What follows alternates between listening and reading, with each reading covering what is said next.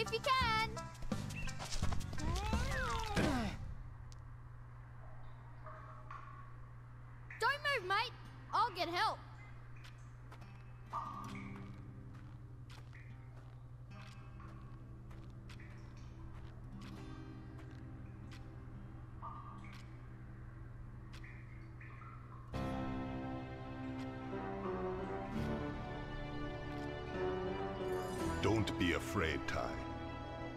Nandu Gili, the Bunyip Elder. G'day, mate. It's time you knew the truth. Years ago, a great battle was fought over the fate of five mystic talismans.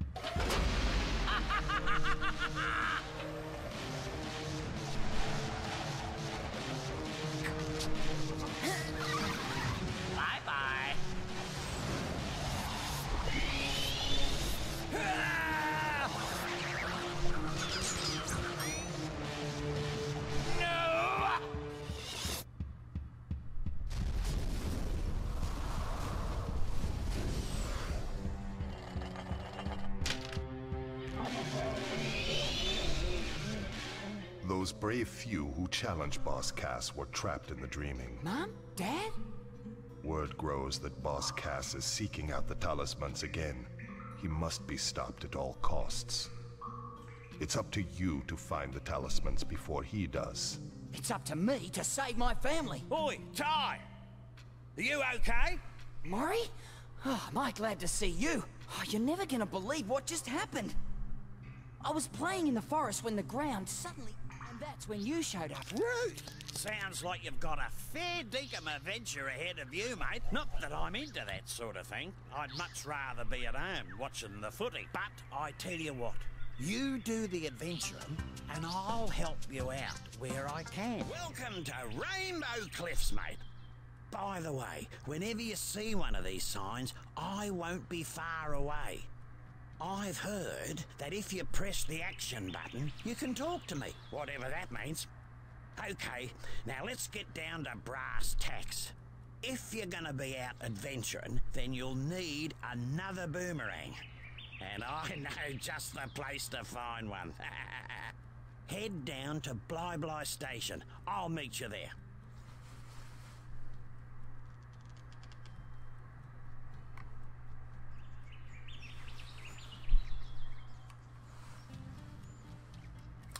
A lot of things to say about that opening cutscene, and I don't know if all of it will matter. Hello, everyone. Welcome to Ty, the Tasmanian Tiger. This is a blind uh, project I'm going to be working on. For those of you who don't know, this is a uh, 3D platformer. And this is one of the few I have not played. So I thought uh, I actually saw it released on Steam recently. I think it was on sale when I got it. So I was like, eh, I'm gonna, I'm gonna do it blind, and I'm gonna see how bad I can be at this game. But uh, apart from that, let me actually fix something. I think I might have a music problem there. Okay. Now that that's fixed, let's go on ahead.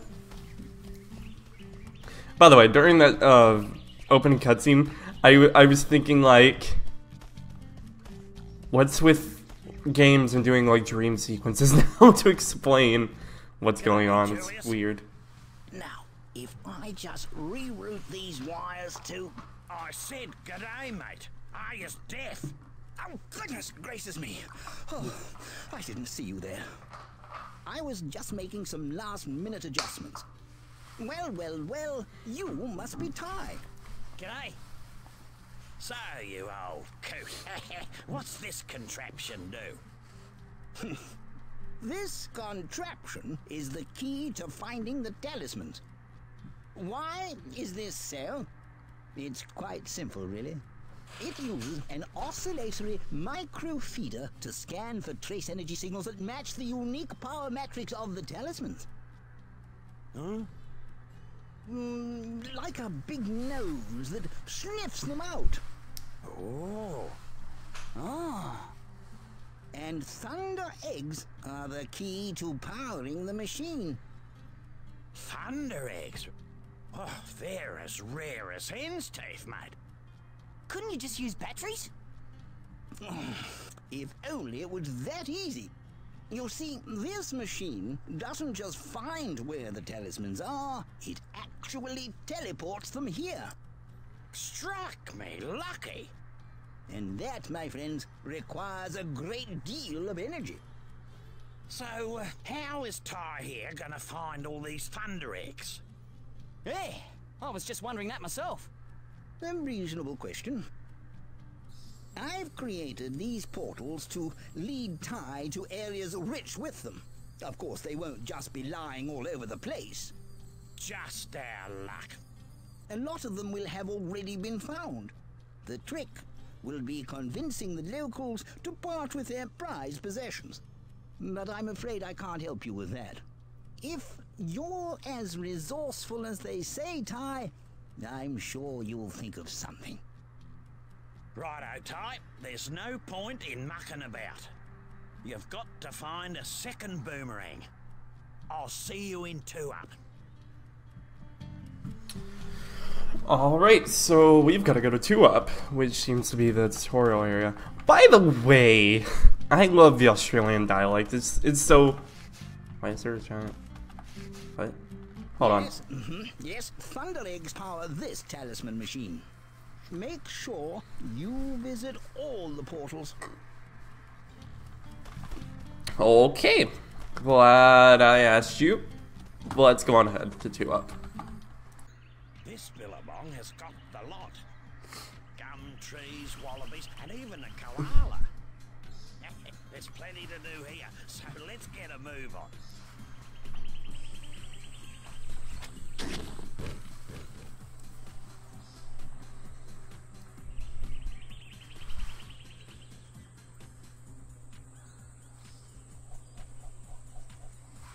Listen, mate, I solved your problem. I found you a second boomerang.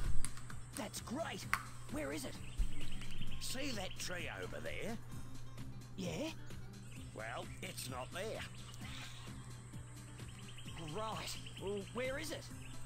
It's on top of Frill Neck Peak. Right.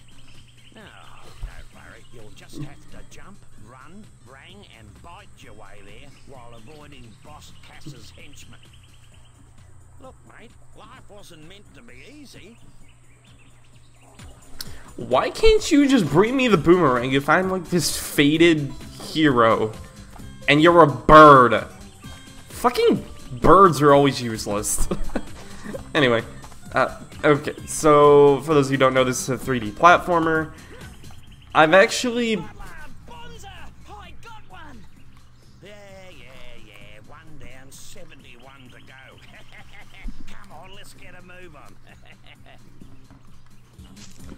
Anyway, that cutscene was pointless. So I've actually played a little bit of the game unintentionally. I reckon those dunnies are a complete waste of space. Only last week I used one, walked two blocks, was clobbered by a frill, and then woke up back on the dunny. Which was the best place to be, given the surprise I got. Julius reckons it's got something to do with the space-time conundrum. But if you ask me, I think it's a load of bull dust. So, you're saying that if I have an accident, I'll end up back at one of these? Something like that. Alright, so there's checkpoints. Got it. But anyway, um, yeah, unintentionally, I played a little bit of this. I actually recorded, uh, probably like a third of this area, and I was actually going to release it as the first episode, but the audio for the game was just Fair set of too loud. I reckon you could put them to good use by pressing the bite button. Get it? Stoppers, bite button. Never mind, Ty, move on. Have a go at those crates. But yeah, I, uh, you know, I didn't think he was actually that loud when I was playing the game, but, you know, listening it back, it drowned out my audio, which was very weird.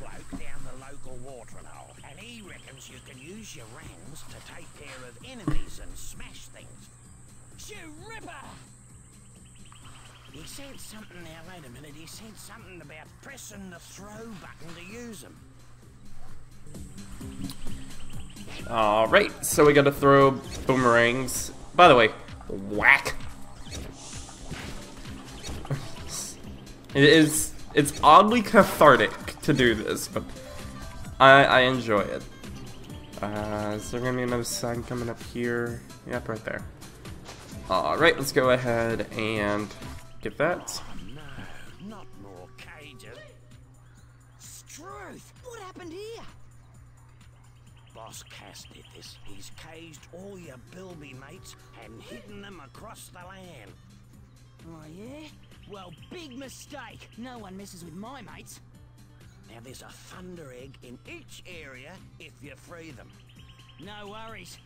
Unless you're Boss Cass. Alright, so we gotta free these little bastards. Whack. Nope, not checking that sign. Nope, nope, nope, nope. I don't need it. Don't need it.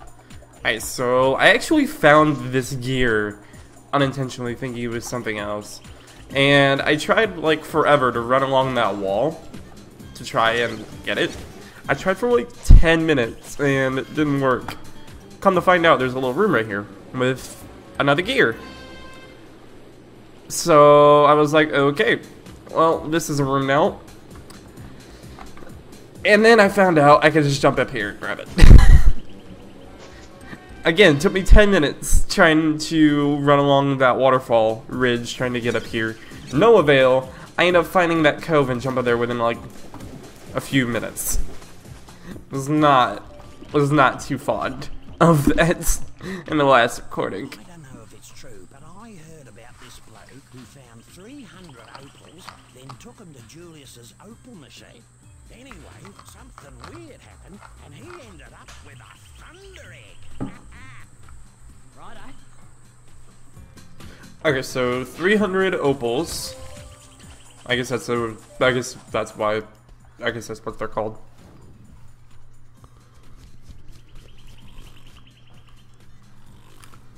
What are those things? Swear to God. They look creepy as hell. Whack. Nope. Whack. Whack. Whack. Whack. Whack. Again, oddly cathartic, but fun as hell to just whack.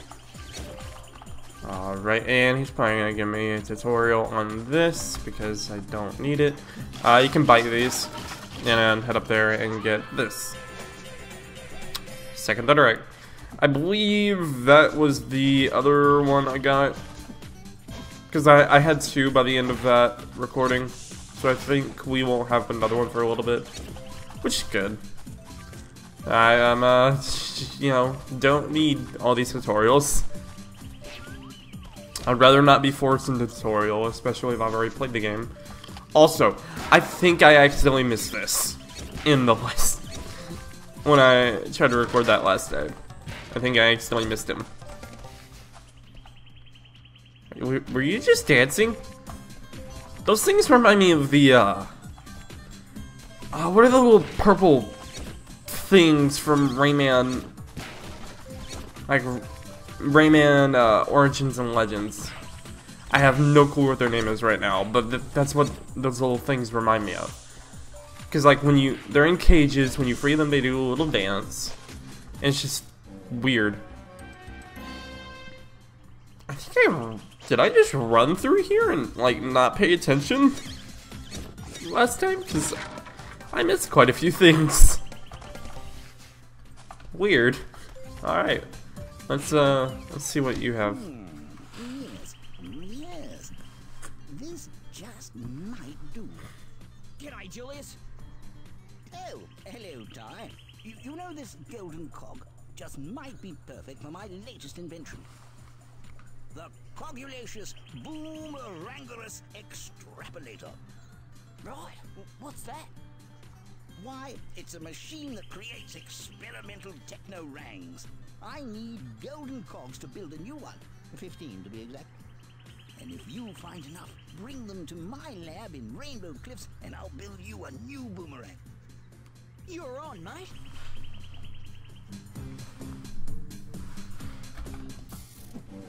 Let's go ahead and get that. How many did he say?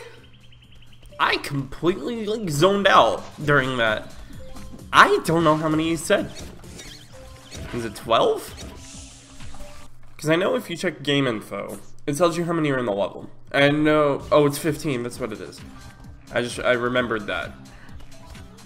But uh, yeah, the amount of the amount of gears in the level is less than the amount you need for the uh, boomerang upgrade.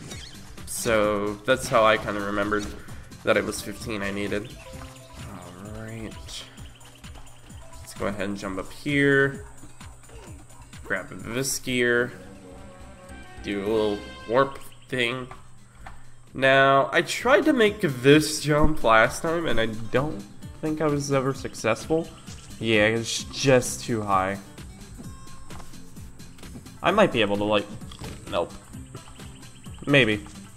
Hold on. Let's, uh... Let's try to break this. Just a little bit. Whoa, whoa, whoa, okay. That was a weird. Eh, nope. Grr. Okay. not gonna, not gonna try any longer. Yep. Again, I missed a lot of things because I, I didn't have that many when I coming up here. What? What is that? Is that a That looks like a banana. I- look, that. I swear it looks like a banana, but I can tell it's like Ty's face. But why does it look like a banana? Okay, that thing as far as I know is indestructible. Nope, no touch, no touch, no touch, no touch, no touch. Good. You know touch. Whack. Whack. I don't remember exactly where I stopped in this, or in the last session. But uh, we'll find out. We'll find out where I'm going to be stopping. Because if you're not, I don't know. Grabbing that. So I'm missing four of those. Hmm. Aha. Over here. Again. I am oddly oblivious when I play these stupid games. That's uh. Huh.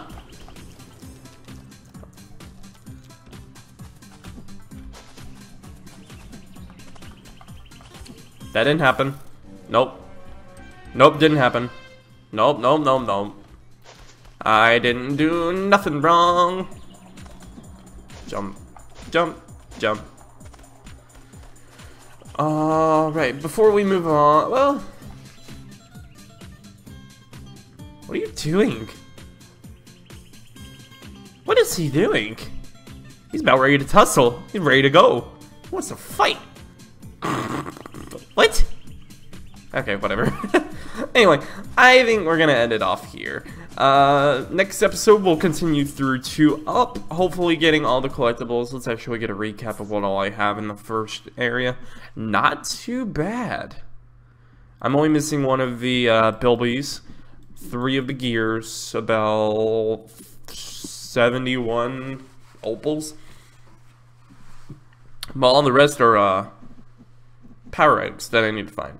Anyway, I'm going to go ahead and end it here. Thank you guys so much for watching, and I hope you guys enjoy my uh, terrible, terrible playthrough of uh, Ty the Tasmanian Tiger. See you guys. Bye-bye.